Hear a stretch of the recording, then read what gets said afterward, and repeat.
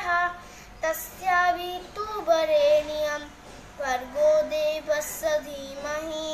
धियो येन प्रचोदयात् ॐ भूर्भुवस्यः।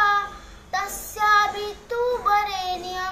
वर्गो देवस्य धीमहि। धियो येन